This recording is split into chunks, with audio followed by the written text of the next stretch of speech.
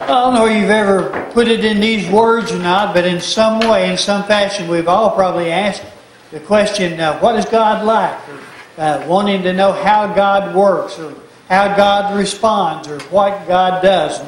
And, uh, even as far back as uh, the, when the apostles were walking with Jesus, we looked at last week the passage of Scripture where Jesus uh, told them that He was the way, the truth, and the life. And Philip said, Lord, uh, let's cut to, cut to the chase, and you show us God, and, and, that'll satisfy us inside. I mean, that'll, that'll satisfy our faith and, and keep us going, and, and we'll be able to do all that you'd have us to do. Well, Jesus' response was, Philip, duh.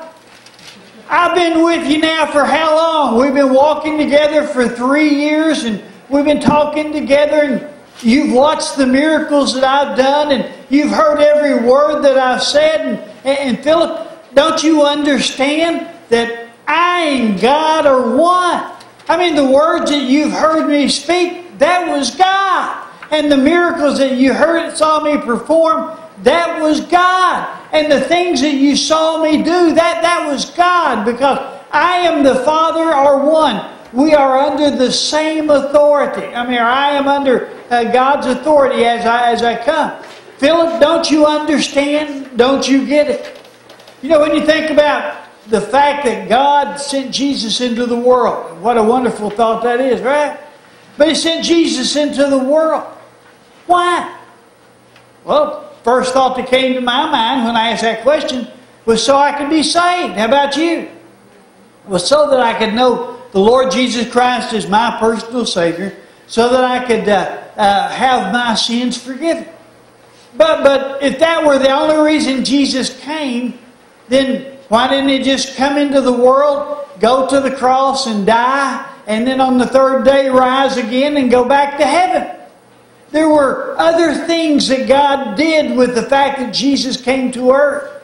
One of the things was is so that we could have a glimpse of God, so that we could see God and know God, and so that we could could, could uh, hear from God and be and see God demonstrated among us, so we could know more about God. What we learn about God comes from Jesus in Jesus' life here on, on the earth. Now, when you study the four Gospels, and I hope you have, four Gospels are Matthew, Mark, Luke, and John, those first four books of the New Testament. When you study those four Gospels, it is that they're called Gospels because they record the life and ministry of Jesus. So when you look at them, ask yourself the question that you get through reading What did I learn about God from what I just read. In the life of Jesus, what did I learn about God? Well, looking at God, God chose to become a human. He chose to become one of us. He says in John chapter 1, verse 18, No one has seen God at any time. The only begotten Son, who is in the bosom of the Father, he has declared it. So, what John said there, remember, John's an eyewitness. He saw Jesus, he talked to Jesus, he saw him put him on the cross. He saw him die. He saw him put him in the, the, the tomb. And he came back and he actually went inside the tomb and was able to say that Jesus was gone. I saw that he was gone. I know they put him here and he's not here now. And, G- and John, as an eyewitness, writes down exactly what he saw. So this eyewitness says, you know, nobody has ever seen God, but we've seen Jesus and we've seen God through Jesus. He has declared it. Well, this morning I want us to look at a story from one of the four Gospels. The four Gospels, again, Matthew, Mark, Luke, and John. I want us to continue in John and his, his uh, eyewitness account. John chapter 9 says, Now as Jesus passed by, he saw a man who was blind from birth. And his disciples asked him, saying, Rabbi or teacher, who sinned, this man or his parents, that he was born blind? Now, there was a, a teaching, uh, the, the thought was that anytime something went wrong with a person, or anytime something was wrong with a person, is because someone sinned. So, his disciples asking, like they were taught, you know, this guy was born blind, so somebody must have sinned. Jesus, did he sin before he was born? Or was it his mother and dad, one of them who sinned, that caused him to be blind? Now, there's something wrong with that assumption.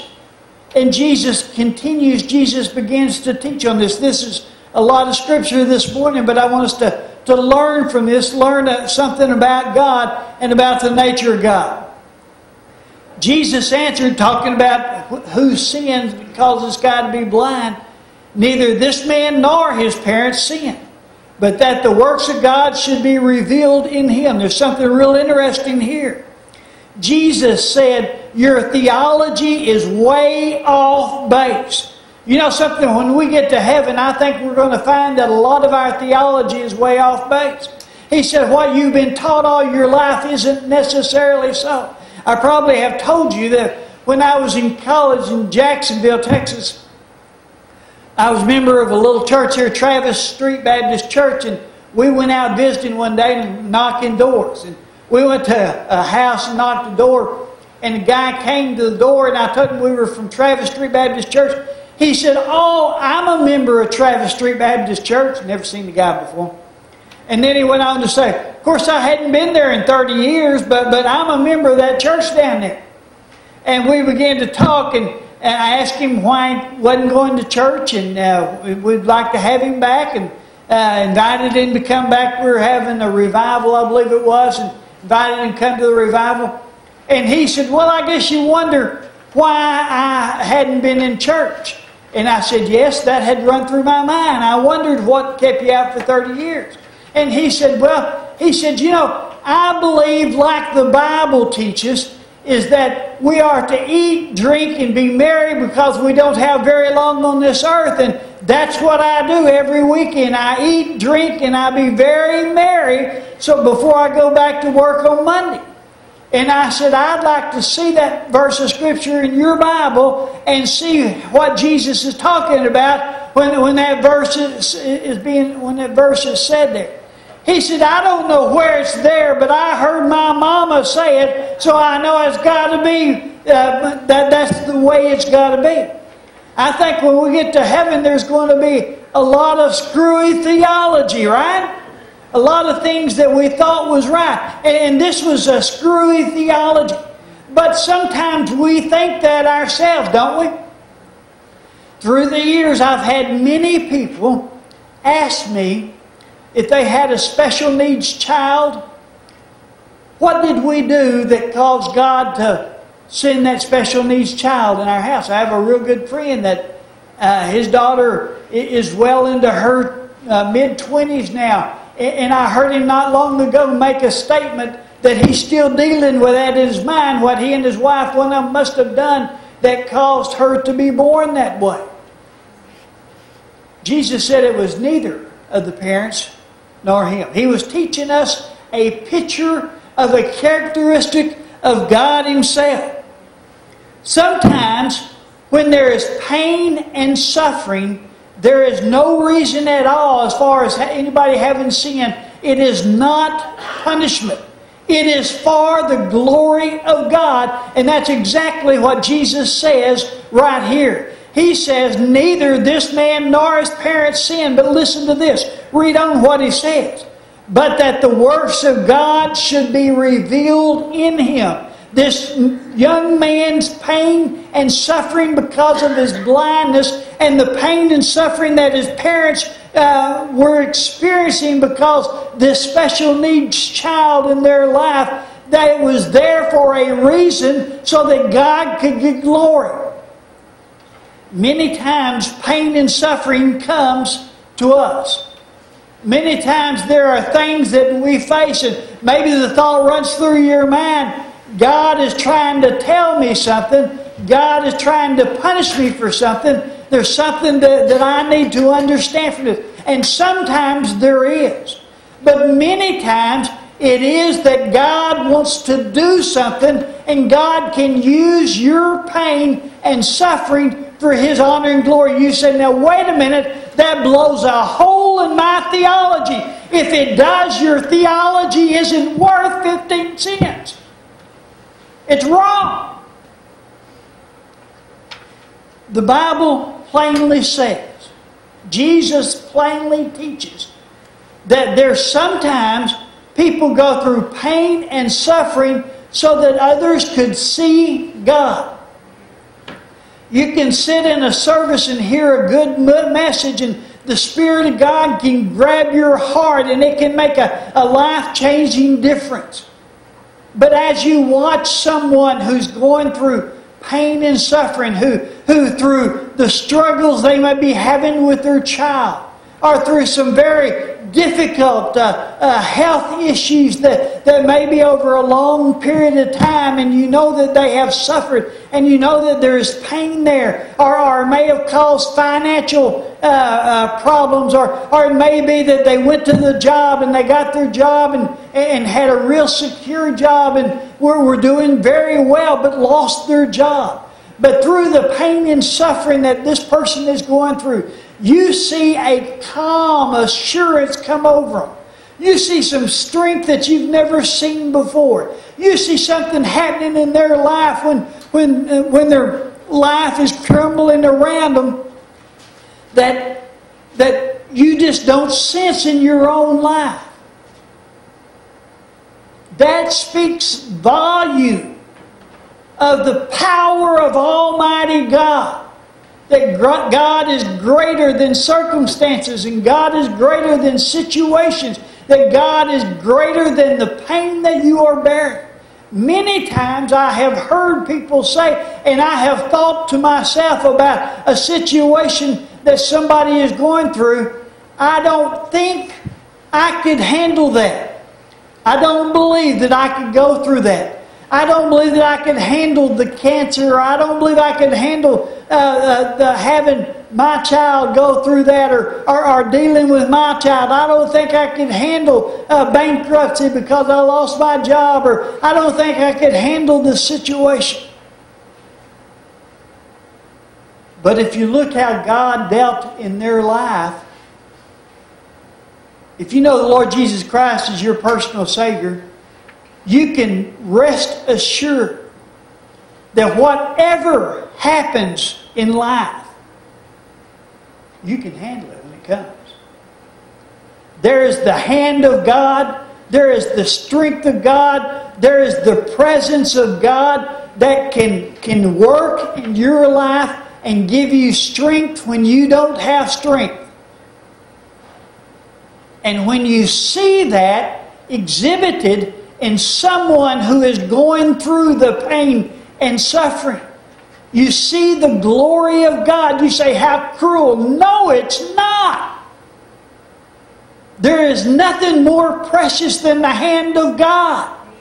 There is nothing sweeter than, than, than, the presence of God in an absolutely helpless situation, and you feel the power of God carrying you through. And then on the other side of that, to understand that I may be going through pain and suffering, and you may be going through pain and suffering, but there is a purpose through the pain and suffering. If God can get honor and glory, every bit of it's okay. Right? So God says, You don't understand, fellas.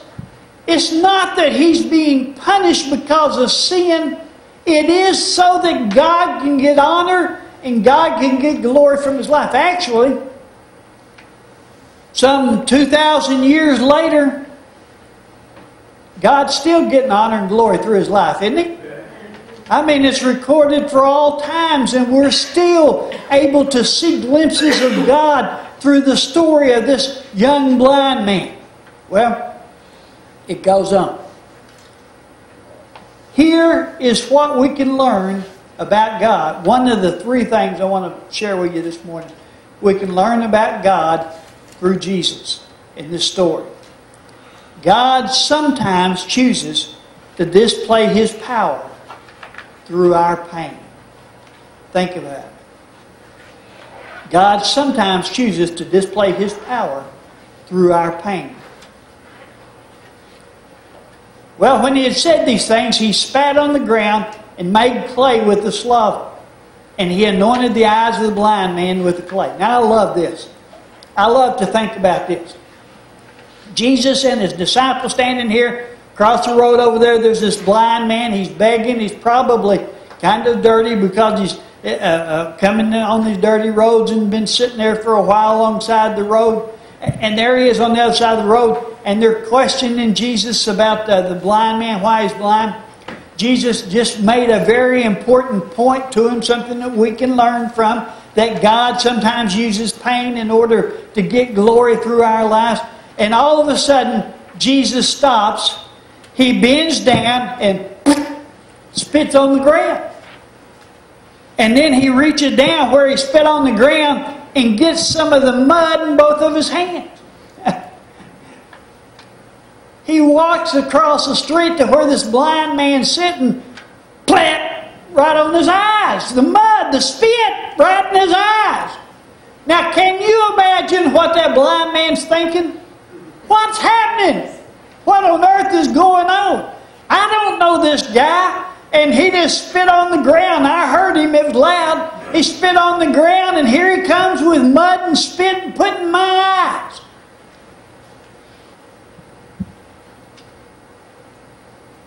And he said to him, Go and wash in the pool of Siloam, which is translated sin. So he went and washed and came back seeing. The guy the blind man, the stranger he'd never seen before, spit in the dirt, put the spit in the dirt in his eyes, and then tells him to go down to the pool of Siloam and wash. I imagine the guy's thinking something like this. Well, I got to go wash my face now anyway. I got spit and dirt in it. I got to get, get clean. Uh, so I, I'm ready to go. Somebody had to carry him. He was blind, right? carried him down to the water, and he put his hands down in the water and, and, and scooped up some water in both hands, and he washed his eye, got all the dirt out. Now imagine he has been blind all of his life. He has never seen anyone or anything. He's never seen the water that he's washing his face in. That may have been a blessing. But he's never seen the water that he's washing his face in. He's never seen his buddies that have carried him around from place to place. He, he did not see the face of Jesus. He's gone now. Uh, he's walked on he, after he talked to him, but he heard him speak. He felt the, the dirt in his eyes, but, but he, he didn't see the face of Jesus at that time. So he bends over into the water, washes his eyes, and when he sits up again, he sees the sky. He sees light for the very first time. He sees the birds flying across the sky. He turns and sees his best buddy John, or whoever his best buddy was, who, who was leading him around. And man, you're ugly.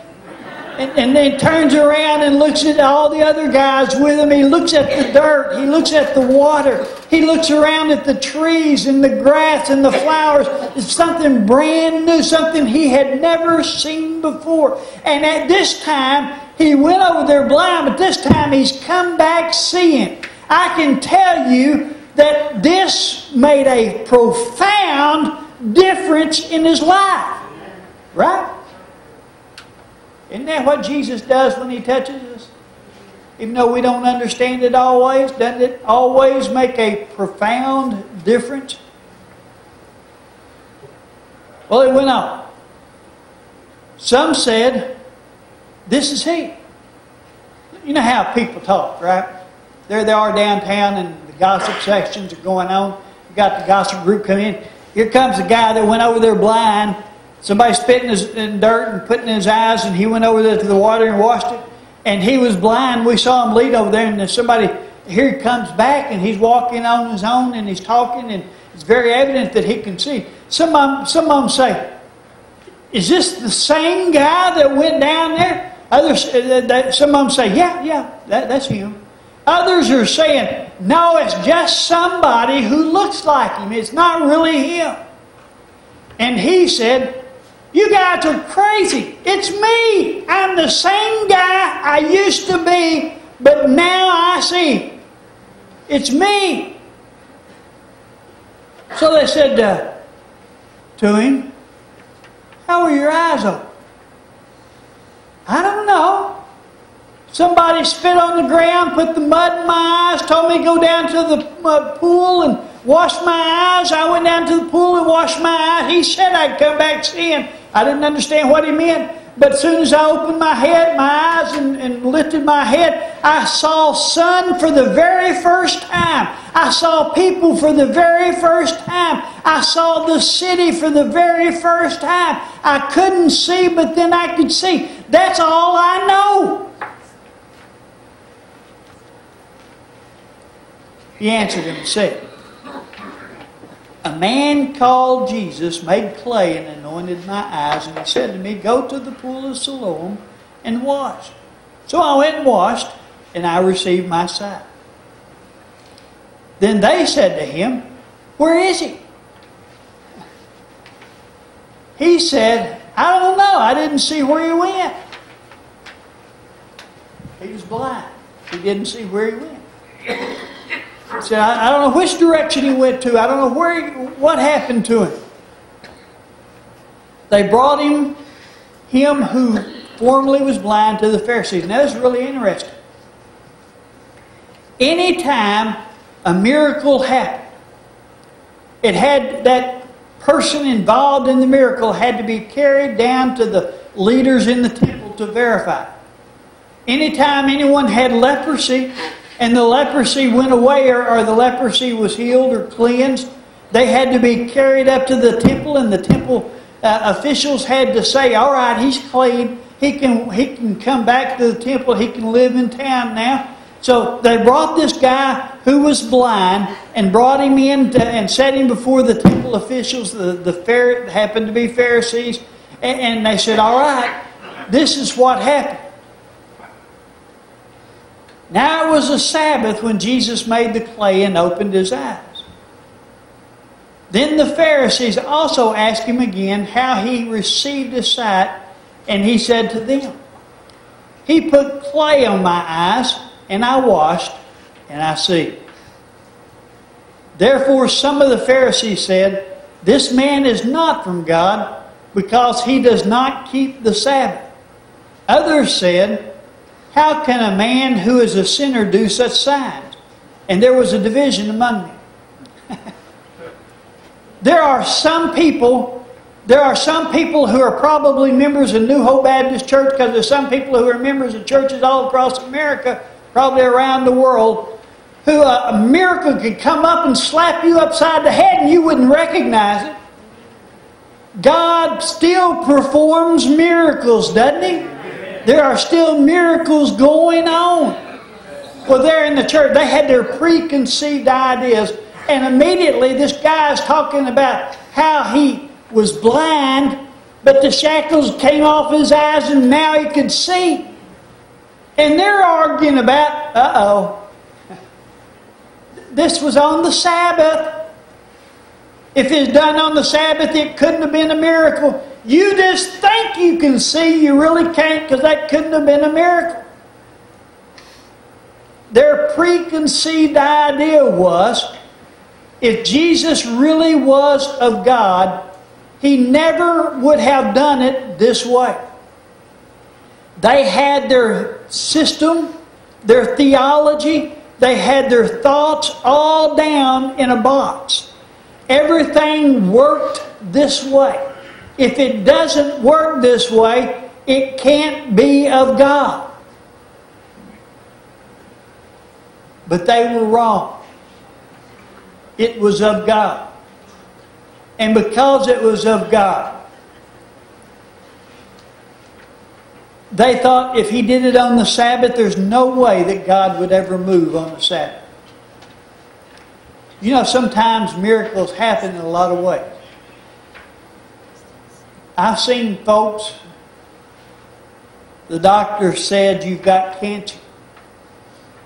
Matter of fact, I know of several cases where they went right up into surgery time and did a pre-surgery x-ray or, or whatever kind of exam they were.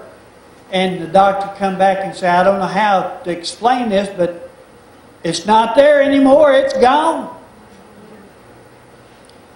There have been those who cancer went through a surgery. And through the surgery, the cancer was removed and, and no longer there. There have been those that, that, that have taken medication and the medication, uh, they come back after giving the medication and, and the cancer is gone. In my opinion, all three are miracles. Who gave us chemotherapy? Smart men and women? No, they, they found it and put it together. But, but who gave us the original elements here on this earth and gave us the knowledge to know how to put them together and, and allowed it to come out and allowed it to do something? That had to be God, didn't it? Who gave us the ability to have? You know, I was talking to the, the doctor about a heart transplant here just last week. And he, that, that was nothing. He said, we go in, said, you'll be in the ICU for three days, and said, then you'll be in the hospital for about a week after that. So then you get out of the hospital, and, and you'll have to stay in the, uh, close to the hospital for a couple of weeks just to make sure you're not rejected or any kind of infection. But then you go back to work, and you go back like, like, like life you know, like, like it's nothing. He said, you'll feel better than you felt in a whole lot of years, just like that. That's nothing putting a, a, a heart in there, like it's nothing treating cancer, like it's nothing having something done. But isn't that a miracle of God? Isn't life in His hand? And you see, that's the, a lesson He is teaching us. A lesson He is teaching us Well, they went on to say to the blind man again, What did you say about him because he opened your eyes? I, I bet the blind man threw up his hand. Well, is, he's a prophet? I don't know who he is. I don't know what he was. But the Jews did not believe him, uh, believe concerning him that he had been blind and received his sight until they called the parents of him who had received his sight. He doesn't fit in our mold. He doesn't fit into what our preconceived ideas of what God can do and what God will do or who God will do it with. Sometimes our preconceived ideas deal with who it is, isn't it? That person has lived a rough life, and God wouldn't do that in their lives. That person has lived a really good life. That, that, that, that pain and suffering wouldn't come in their life. And they ask him, saying, Is this your son who you say was born blind? How then does he see? His parents answered them, said, We know that this is our son, and we were there. Believe me, we know he was born blind. But by what means now he sees, we do not know. We don't know what happened. We know he was blind. We know now he can see. Or who opened his eyes. We don't know. He is of age. Ask him what happened. He'll speak for himself. His parents said these things because they feared the Jews, for the Jews had agreed already that if anyone confessed that he was Christ, he would be put out of the synagogue. Now, that's a real Christian thing to do. And we don't believe that actually what they were saying was, is we don't believe in Christ. We don't believe that Christ was the Son of God. We believe because He's different than we thought He was going to be. He doesn't look like we thought He was going to look. He doesn't act like we thought He was going to act. He can't be the Son of God. And, and so, anyone who says anything about Christ can't be a part of our church. You just got to go on because you just don't meet our criteria. You know, the world has evolved to such a place like that today, right? I was reading something that Benjamin Franklin wrote uh, this last week. I love to read some of the, the forefathers and their writings. Oh, Ben Franklin talks about how it was that he knew in his heart a civilization couldn't last that didn't believe in God. He said there was democracy cannot exist where there is not the teachings of God or by the hand of God. A, a, a, true democracy will never exist without the kind of morality that's taught in Christianity. And you know something? He was absolutely right. We see it moving away from democracy, right? Freedoms? Because we're moving away from God. Well, in our preconceived ideas today, you can generically talk about God if you don't do it emphatically. But generically talk about God, but don't mention Christ. Because it doesn't fit the mold or the box that the world has drawn up about what God is. Oprah Winfrey will tell you that, yeah, she believes in God. God is anything you want Him to be. God is anything that you perceive Him to be inside. What means a lot to you in your heart, what it is that, that, that motivates you, that's your God. And that's who you should serve and that's who you should follow. She is wrong. Studied last week. Jesus said, I am the way, the truth, and the life. No man comes to the Father but how? But by me. So, the blind Parents knew they'd be thrown out of the synagogue, and that was a big thing. You say, so what? They might lose their job. They would lose a circle of friends. They probably would lose any kind of standing they might have in the community or any kind of help that they might have had in the community if they were thrown out of the synagogue. It was a big, big deal. Therefore, his parents said, He's of age, ask him. So they again called the man who was blind and said to him, Give God the glory. We know that this man is a sinner, talking about Jesus. You say God did it, don't tell us about this Jesus character. Don't you say that he had anything to do with the miracle that was performed. He answered and said, Whether he is a sinner or not, I do not know. One thing I know, it, this is a beautiful, beautiful verse. One thing I do know, that though I was blind, now I see. I'm not an expert on anything.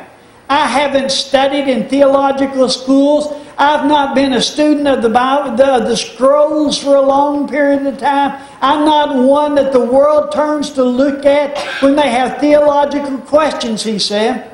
But let me tell you what I do know because I have experienced it. I was there. I know what happened. He said, I was a blind man. I've been blind all my life. I had never seen the color red, ever.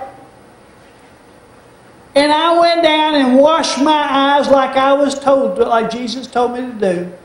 And when I washed my eyes and I looked up, I saw color for the first time.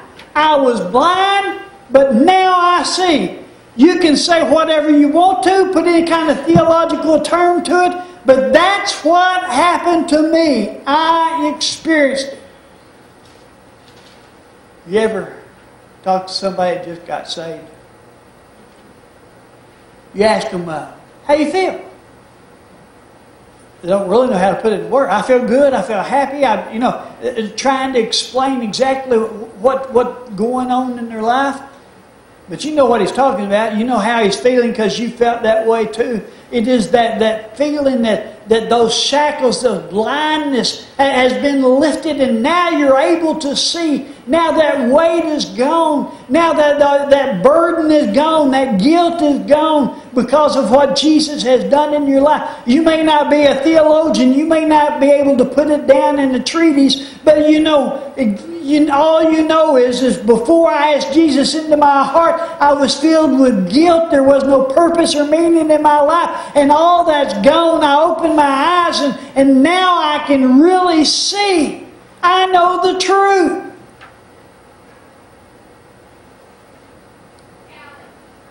Then they said to him again, What did he do to you? How did he open your eyes? He answered them, Aren't you listening? I already told you my story once. I told you already, and did you not listen? Why do you want to hear it again? Do you also want to become a disciple? I love this. Here they are, they're saying, We don't believe in Jesus, and anybody believes in Jesus can't be a member of our church. And he says, Why do you want me to repeat the story? Y'all want to start following Jesus too?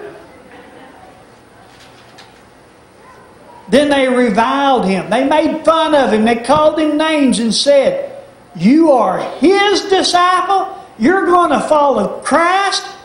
We're not. We're Moses' disciple. We know that God spoke to Moses. As far as this fellow Christ, we don't know where he's from. The man answered and said to them, Why? This is a marvelous thing that you do not know where he is from, yet he has opened my eyes. He's saying, experience speaks for himself.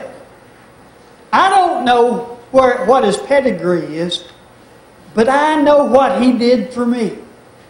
You know, that's the testimony of a Christian.